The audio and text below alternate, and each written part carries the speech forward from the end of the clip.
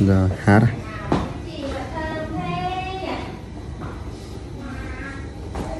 Uh, chị có nghe tiếng một tiếng kịch nhỏ ở đây không? tại vì chị mãi tập trung sợ đau lắm mà chị không nghe thấy gì cả Ok, chị nghiêng sang bên này xem. Paint the sky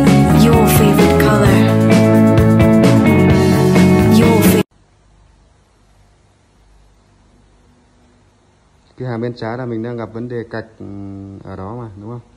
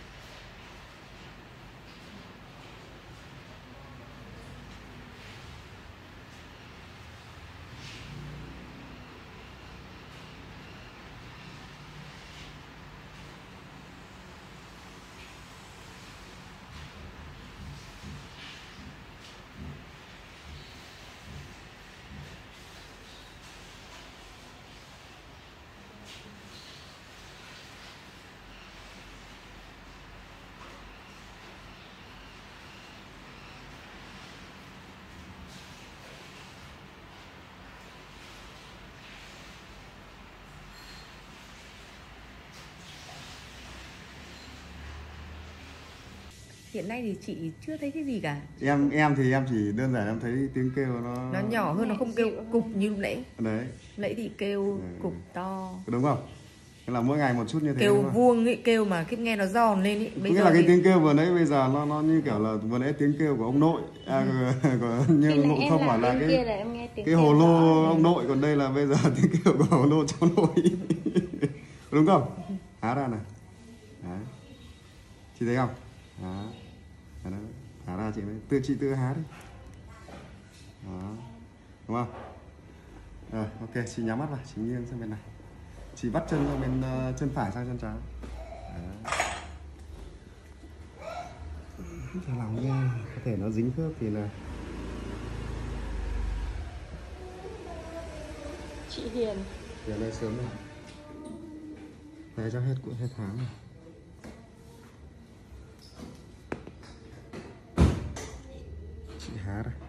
há từ từ đây.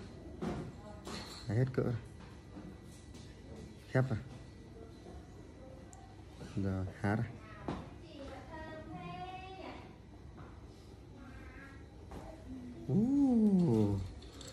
chị có nghe tiếng một tiếng kịch nhỏ ở đây không? Tại vì chị mải tập trung sợ đau lắm mà chị không nghe thấy gì cả. Ok. Chị nghiêng sang bên này xem